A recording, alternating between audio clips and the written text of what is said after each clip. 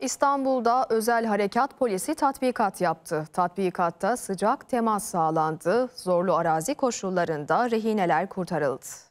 Gelmeyin sıkarım! Gelmeyin!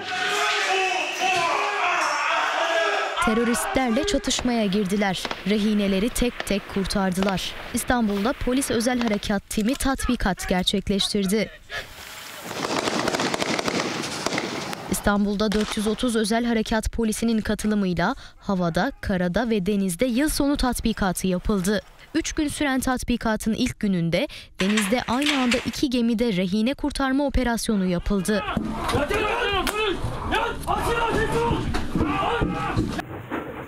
Özel harekat timleri ikinci gün metroda silahlı saldırgana operasyon yaptı. Uçakta yolcuları rehin alan saldırganlarda tatbikat gereği etkisiz hale getirildi.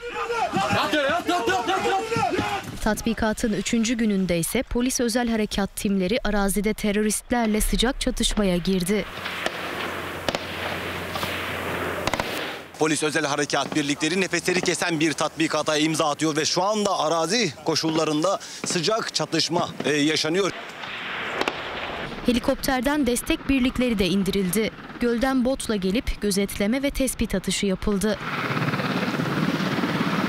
İl Emniyet Müdürü Zafer Aktaş'ın yönettiği tatbikatta polis özel harekatçılar yerli üretim silahlar kullandı. Ekipler polis savunma yöntemlerini de gösterdi.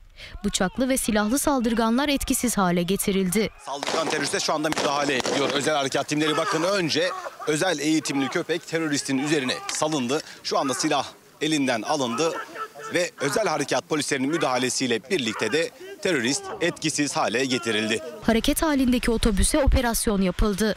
Rehine kurtarıldı, şüpheliler kısa sürede yakalandı. Tatbikatın sonunda hedefler makineli tüfek, keskin nişancılar, zırhlı araçlar ve helikopterden aynı anda yapılan atışlarla imha edildi. İstanbul İl Emniyet Müdürü Zafer Aktaş polislere teşekkür etti. Ben özel harekat personelimize İstanbul Teşkilatı'nın görünür ve görünmez kahramanlar olarak addediyorum.